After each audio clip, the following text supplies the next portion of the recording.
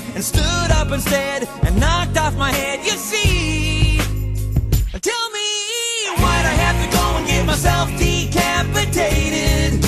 This really is a major inconvenience, oh man, I really hate it. Such a drag now. Can't eat, I can't breathe, I can't snore, I can't belch or yodel